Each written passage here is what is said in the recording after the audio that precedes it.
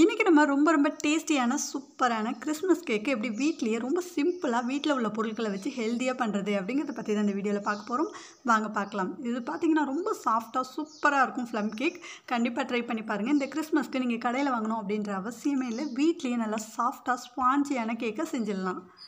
நான் சொல்கிற அளவுகளோடு செஞ்சீங்க அப்படின்னா சூப்பராக வரும். கண்டிப்பாக ட்ரை பண்ணுங்கள் இதுக்கு பார்த்தீங்கன்னா நம்ம வந்து ஒரு ஆறு மணி நேரத்துக்கு முன்னாடியே ட்ரை ஃப்ரூட்ஸ் எல்லாத்தையும் வந்து ஜூஸில் ஊற வச்சுக்க போகிறோம் அதுக்கு பார்த்தீங்கன்னா நான் அத்திப்பழம் பேரிச்சம்பழம் இந்த மாதிரி டூட்டி ஃப்ரூட்டி காஞ்ச திராட்சை இதெல்லாம் எடுத்திருக்கேன். உங்களுக்கு விருப்பமான நட்ஸு ஃப்ரூட்ஸ் எது வேணாலும் எடுத்துக்கோங்க.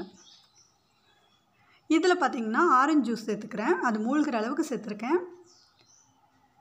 ஆரஞ்சு ஜூஸ் இல்லை அப்படின்னா கிரேப் ஜூஸ் சேர்த்துக்கோங்க. அதுக்கப்புறம் நம்ம கேரமல் பண்ண போகிறோம் அதுக்கு பார்த்திங்கன்னா ஒரு நாலு டேபிள் ஸ்பூன் அளவுக்கு சுகர் சேர்த்துருக்கேன். ஜீனி. அதில் ஒரு ஸ்பூன் அளவுக்கு தண்ணி சேர்த்துட்டு மீடியம் ஃப்ளேமில் வச்சு இதை நல்லா மெல்ட் ஆக வைக்கலாம். இது வந்து நல்லா மெல்ட் ஆகி ஒரு கலர் நல்லா கோல்டன் கலரில் வரணும். இந்த அளவுக்கு மெல்ட் ஆகிட்டு இருக்கும்போதே நம்ம பக்கத்தில் கொஞ்சமாக சுடு தண்ணி வச்சுக்கலாம் ஒரு அரை கிளாஸ் அளவுக்கு. இது நல்லா இந்த மாதிரி கலர் சேஞ்ச் ஆன உடனே பார்த்திங்கன்னா நம்ம பக்கத்தில் தண்ணி வச்சுக்கணும். இது சீக்கிரமாக கரிஞ்சிரும் அதுக்காக தான் சொல்கிறேன் நல்ல கலர் வர ஆரம்பிச்சிருச்சு பாருங்கள் இதுதான் கரெக்டான ஸ்டேஜ் இந்த டைமில் நம்ம தண்ணி சேர்த்துடலாம். அது சுடு தண்ணி சேர்த்திங்க அப்படின்னா சூப்பராக கரெக்டாக வந்துடும் அவ்வளோதான் ஸ்டவ் ஆஃப் பண்ணிக்கலாம். இதை தனியாக ஒரு பவுலில் எடுத்து வச்சுக்கோங்க. வாங்க இப்போ கேக் எப்படி பண்ணுறது அப்படிங்கிறத பார்த்துடலாம். அதுக்கு நான் ஒரு பவுலில் மூணு முட்டையை உடச்சி சேர்த்துக்கிறேன்.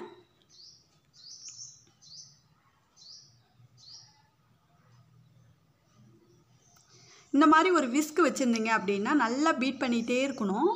உங்கள்கிட்ட இந்த மாதிரி விஸ்க் இல்லை அப்படின்னா நீங்கள் வந்து ஒரு மிக்சி ஜார் எடுத்துக்கோங்க. அதில் ஃபஸ்ட்டு நம்ம மூணு முட்டையை சேர்த்துட்டு நல்லா அரைச்சிக்கலாம். இந்த மாதிரி நுர பொங்கி வர அளவுக்கு அரைச்சிக்கணும். அதில் பார்த்தீங்கன்னா ஒரு முக்கால் கப் அளவுக்கு நாட்டு சக்கரை சேர்த்துருக்கேன். உங்களுக்கு இனிப்புக்கு தகுந்த மாதிரி நீங்கள் கூட குறைச்சி சேர்த்துக்கோங்க. நாட்டு சக்கரையும் சேர்த்து நல்லா அடிச்சிங்க அப்படின்னா இந்த அளவுக்கு நுர பொங்கி வரும். இந்த மாதிரி டைமில் நான் எடுத்து வச்சுருக்கிற ஒரு கப் மைதா முக்கால் கப் நாட்டு சக்கரை சேர்த்தேன் இல்லையா? அதால் ஒரு கப் அளவுக்கு மைதா எடுத்து வச்சுருந்தேன். அந்த மைதாவை சேர்த்துக்கிறேன். கிராம் கணக்குக்கு சொல்லணுன்னா நூற்றம்பதுலேருந்து நூற்றி எழுபத்தஞ்சி கிராம் அளவுக்கு இருக்கும். இது கூட நம்ம கேரமல் பண்ணி வச்சுருந்தோம் இல்லையா? அதையும் சேர்த்துக்கிறேன். சேர்த்துட்டு நல்லா இந்த மாதிரி கலந்து விட்டுக்கிறேன்.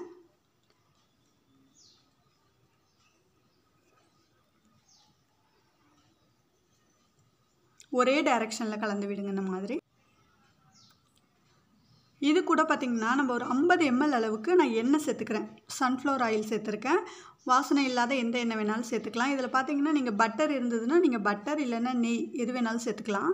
இந்த மாதிரி சேர்த்துட்டு நல்லா கலந்து விடுங்க. பேக்கிங் பவுடர் ஒரு ஸ்பூன் சேர்த்துருக்கேன். அரை ஸ்பூன் அளவுக்கு பேக்கிங் சோடா சேர்த்துருக்கேன்.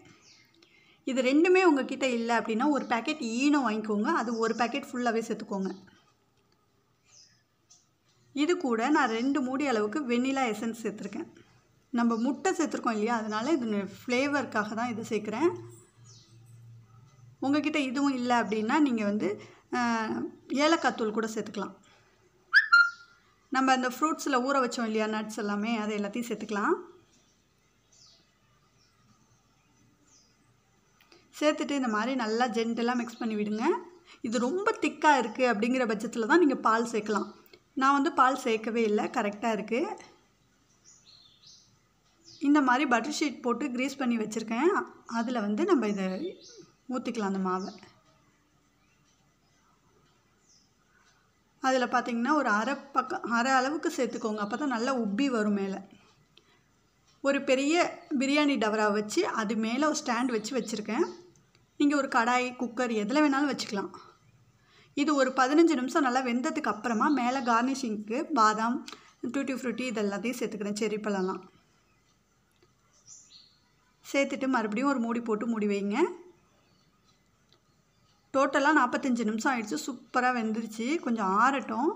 நம்ம இந்த டவராலேருந்து இப்போதைக்கு ரிமூவ் பண்ண வேணாம். அது அப்படியே இருக்கட்டும் ஒரு பத்து நிமிஷம். அதுக்கப்புறமா நம்ம எடுத்து பார்த்தோம் அப்படின்னா சூப்பராக வெந்திருக்கும். அதை நல்லா ஆற வச்சுட்டு இந்த ஓரப்பகுதியில் எல்லாத்தையும் இந்த மாதிரி ரிமூவ் பண்ணிவிட்டு நம்ம இதை டிமோல்ட் பண்ணிக்கலாம்.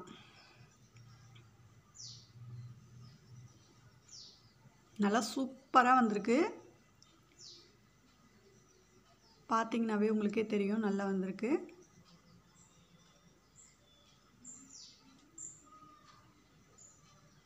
இந்த மாதிரி ரொம்ப ஹெல்த்தியாக நீங்கள் வீட்லேயே ட்ரை பண்ணுங்கள் நம்ம இதில் நாட்டு சக்கரை சேர்த்து நட்ஸு நிறைய சேர்த்து இந்த மாதிரிலாம் செய்கிறோம் ரொம்ப நல்லது. எவ்வளோ ஸ்பான்ச்சியாக சூப்பராக இருக்குது பாருங்கள் கண்டிப்பாக ட்ரை பண்ணி பாருங்கள் இந்த வீடியோ உங்களுக்கு பிடிச்சிருக்கு அப்படின்னா நம்ம சேனலை மறக்காமல் சப்ஸ்கிரைப் பண்ணிக்கோங்க. தேங்க்யூ ஃப்ரெண்ட்ஸ் தேங்க்யூ ஃபார் வாட்சிங்